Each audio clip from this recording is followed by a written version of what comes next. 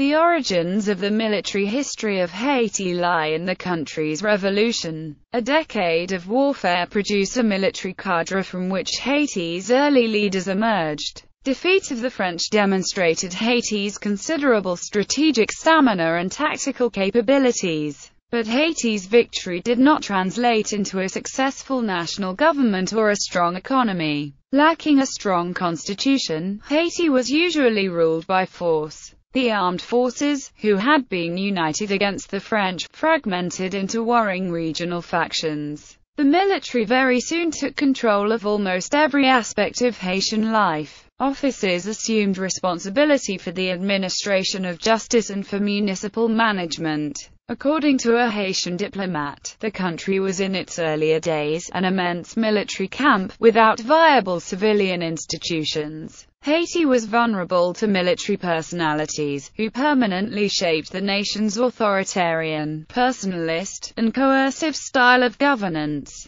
19th century During the latter half of the 19th century, the army either failed to protect the central government or directly caused the government's collapse. Rural insurgent movements led by piquets and CACOS limited the central government's authority in outlying areas. These groups carried on war into the 20th century. They were finally put down by the United States Marines in 1919. Prolonged instability weakened the military. By the end of the 19th century, Haiti's military had become little more than an undisciplined, ill-fed, and poorly paid militia that shifted its allegiances as battles were won or lost and as new leaders came to power. Between 1806 and 1879, an estimated 69 revolts against existing governments took place. Another 20 uprisings, or attempted insurrections, broke out between 1908 and 1915. At the beginning of the 20th century, Haiti's political problems attracted increasing foreign involvement. France, Germany, and the United States were the major actors, the latter occupied the country in 1915. During the occupation, the United States made an unsuccessful attempt to modernize Haiti's armed forces. The United States Marines disbanded Haiti's army, which consisted of an estimated 9,000 men, including 308 generals. In February 1916, the Haitian Constabulary was formed. United States Marine and United States Navy officers and non-commissioned officers commanded the group. The gendarmerie attempted to secure public safety, initially by subduing the CACOS, to promote development particularly road construction, and to modernize the military through the introduction of a training structure, a health service, and other improvements. The United States administration of Haiti brought order and resulted in some economic and social development. At the same time, the United States overhauled Haiti's disintegrated military infrastructure. The gendarmerie became the Garde d'Haïti in 1928. The Guard formed the core of Haiti's armed forces after the United States administration ended. The United States sought to establish a modern, apolitical military force in Haiti. On the surface, it succeeded. The organization, the training, and the equipment of the Guard all represented improvements over the military conditions existing before the occupation. Army politics in the 20th century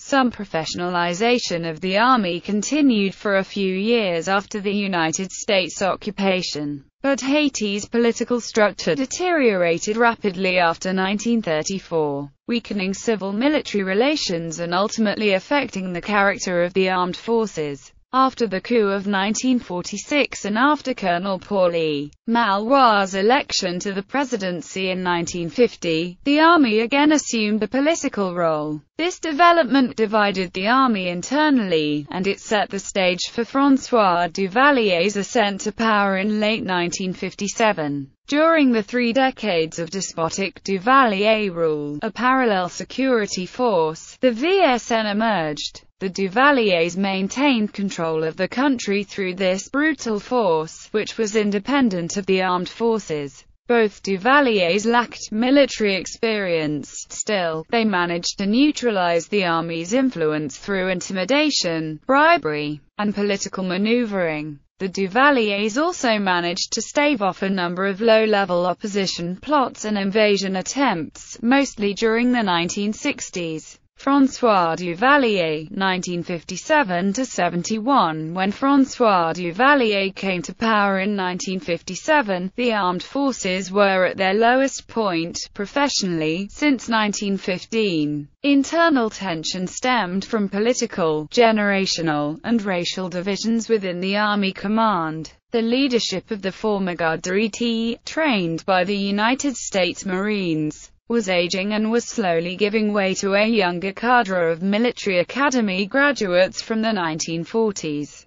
Duvalier hastened this process by retiring a group of senior officers and promoting a number of junior officers. Duvalier's establishment of a parallel security apparatus posed the most serious challenge to the crumbling integrity of the armed forces. In late 1958, Duvalier reinstated and took direct control of the Presidential Guard, and he eliminated the Maison Militaire, which had served as the presidential security unit before the Duvalier era. In 1959 the regime began recruiting a civilian militia, ostensibly as an adjunct to the Presidential Guard, drawn initially from the capital city's slums and equipped with antiquated small arms found in the basement of the presidential palace. The civilian militia, commonly known as the Tonton-Macoutes, became the VSN after 1962. The armed forces yielded political power to the new regime and lost many of their institutionalized features, developed during the previous 30 years. Duvalier closed down the military academy in 1961. A professional and elitist institution, the academy represented a potential source of opposition to the regime. Officers who attempted to resist Duvalier forfeited their careers. In 1963 Duvalier expelled the United States military mission, which he had invited to Haiti in 1959 because he believed that military modernization values imparted by United States instructors could lead to resistance to the government's restructuring of the armed forces. Duvalier succeeded in overpowering the mainstream military establishment, but the process was painful. It required several abrupt attacks. For example, Duvalier eliminated, or exiled, anyone who opposed him. Duvalier's ruthlessness and suspicion caused members of his own security apparatus to turn against him, most notably Clement Barbot, one of the original VSN chiefs. By the mid-1960s, the VSN and the Army routinely cooperated on internal security matters, even though the two groups were suspicious of each other. There were occasional lapses in the security apparatus, however. In 1967 several bombs exploded near the palace, and the regime subsequently executed 19 officers of the Presidential Guard. In 1970 the entire membership of Haiti's small Coast Guard staged an abortive mutiny. The regime referred to the VSN as a militia. This designation masked the organization's role as the Duvalier's frontline security force. The VSN acted as political cadres, secret police, and instruments of terror. In addition, they played a crucial political role for the regime. They countered the influence of the armed forces, historically the nation's foremost institutional power. François Duvalier went farther than any of his predecessors in his efforts to reduce the ability of the military to influence selection of the country's leaders.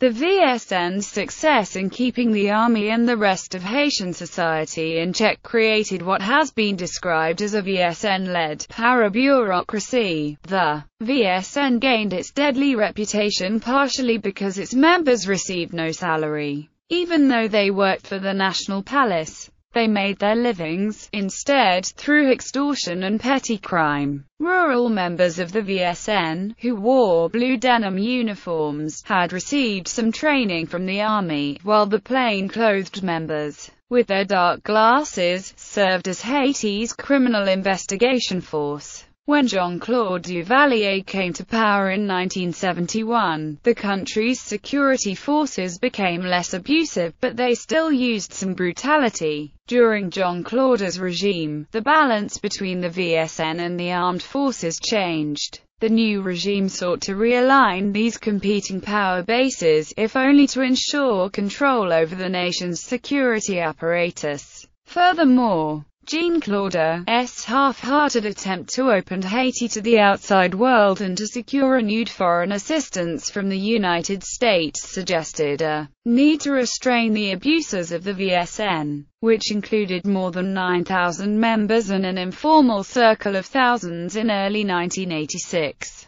The creation of the Leopards counterinsurgency unit, with United States as support, provided the regime with a relatively modern tool for responding to internal threats. The Leopards also provided Baby Doc with a new force, the capability and the allegiance of which bridged the gap between the armed forces and the VSN. A reorganization integrated some senior VSN members into the army, affecting a partial merger of Haiti's two security institutions. In 1972 the military academy reopened, and a politically well-connected class, the first since 1961, graduated in 1973. The reopening of the academy represented a small step toward reprofessionalizing the military. Some modernization of army equipment was also undertaken during this period. The armed forces entered the 1980s as a mere shadow of the powerful, disciplined, trained institution that had existed 40 years earlier. Although the army successfully repelled a number of attempts against the regime, it ultimately failed to prevent Duvalier's fall under pressure from his own populace, with last-minute assistance from the United States.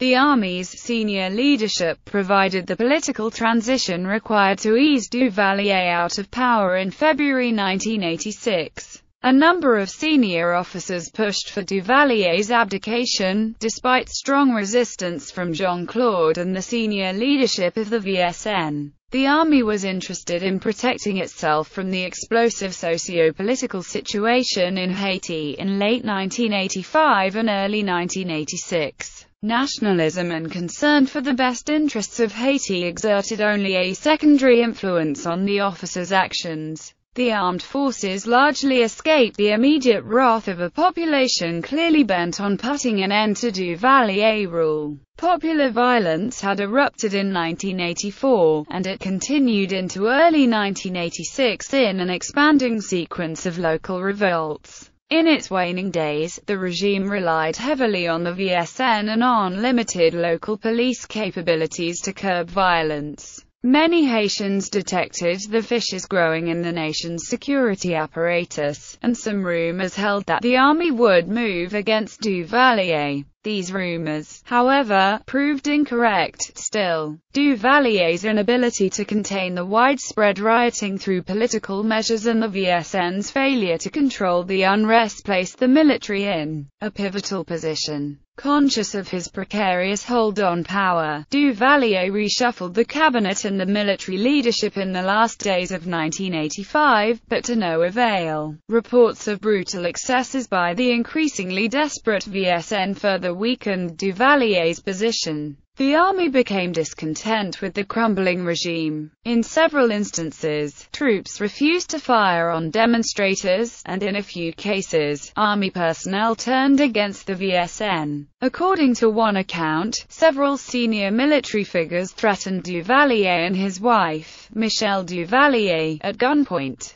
The post-Duvalier period, Jean-Claude Duvalier left behind a hastily constructed interim junta, controlled by the armed forces. Lieutenant General Henry Namphy, Army Chief of Staff, became head of the interim National Council of Government. Colonel Williams Regala, the head of the military academy, Lieutenant General Prosper Avril of the Presidential Guard, and Colonel Jean-Claude Paul of the Regular Army were also key figures in the interim government. The CNG officially disbanded the VSN a few days after Duvalier's departure, but it avoided the politically difficult measure of effectively halting the VSN's activities. This nonfeasance prompted angry mobs to murder known members of the VSN and set in motion a cycle of instability from which Haiti had yet to recover. In the late 1980s, Despite the popular backlash, some members of the VSN managed to survive by integrating themselves into military circles.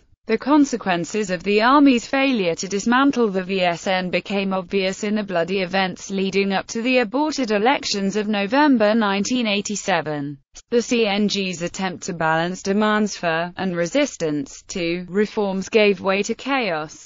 By 1987 the armed forces had lost the favorable reputation they had enjoyed a year earlier. Worse, the senior military command appeared to be doing little to stop attacks against the electoral process. The disastrous elections of 1987 and 1988 isolated the Haitian military from the international community, which had grown skeptical about the role of the armed forces. The situation unraveled further in 1988, under the short-lived civilian government of Leslie Manigat who was overthrown when he retired the Port-au-Prince police chief and attempted to reshuffle the army command. CNG leader Namphy returned as head of government, with the support of other commanders. In September 1988, another coup brought Prosper Avril to power. Avril was an experienced officer with a career dating back to the Duvalier era. The armed forces continued to face problems, however, even after Avril came to power. From September 1988 through March 1989, 140 officers reportedly were retired or were fired, some because they were suspected of drug smuggling. Allegations that government officials were involved in drug trafficking became widely known after a United States court indicted Colonel Jean-Claude Paul, then commander of the Dessalines Battalion, on charges of cocaine distribution. Paul's wife had previously been arrested in Miami on cocaine charges.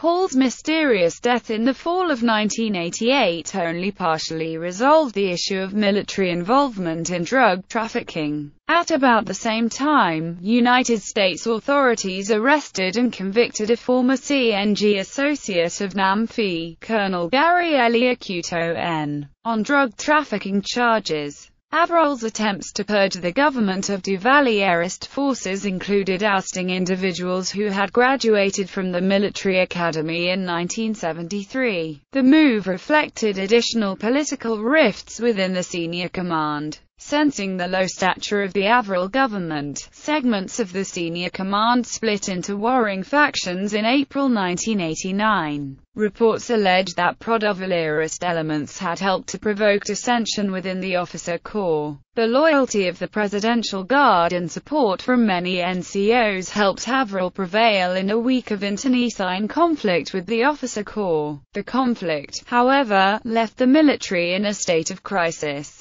Duvalier's collapse initially had enhanced the national standing of the FADH, but the group's senior commanders, when thrust by events to the forefront of governance, had reverted to the traditional use of force to carry out a vaguely defined political program. Other actors, such as the Roman Catholic Church or political parties, remained divided in the post-1986 period, and they were therefore generally ineffectual politically. The failure of Haiti's civilian leadership to negotiate an alternative political course further reinforced the FAD's self-characterization as the decisive agent of Haitian affairs. Beginning in 2011, the Haitian government began the process of the re-establishment of the Haitian army.